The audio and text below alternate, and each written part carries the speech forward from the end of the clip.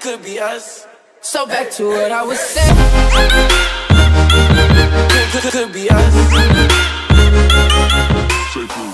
Tử Hà tiền tử bị Châu Tinh Trì phản bội gây choáng với nhan sắc ở tuổi 50, tuyệt sắc giai nhân chưa ai vượt qua.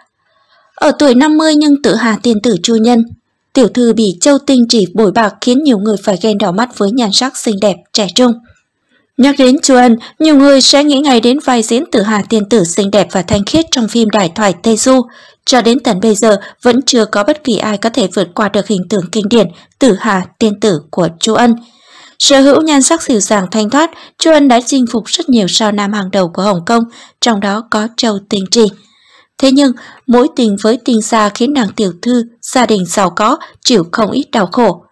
Dù hẹn hò suốt 3 năm, nhưng Châu Tinh Trì chưa từng công khai tình cảm với người đẹp, thậm chí trả lời truyền thông, nam diễn viên cũng phủ thẳng mặt, phủ nhận chuyện yêu Chu Ân.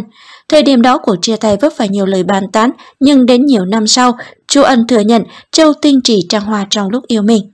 Sau kết thúc mối tình với Châu Tinh Trì, nàng ngọc nữ màn ảnh đã có cuộc sống hạnh phúc bên ông xã Huỳnh Quán Trung.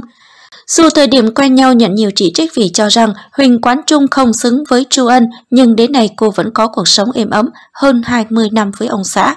Thời điểm này, mỹ nhân nổi tiếng Hồng Kông đã hầu như không để tâm đến làng giải trí, chỉ chuyên tâm chăm sóc gia đình và con gái đầu lòng. Trong một cuộc phỏng vấn trên truyền thông, Chu Ân tiết lộ cô không muốn con gái thiếu thốn tình cảm của cha mẹ vì bận rộn công việc.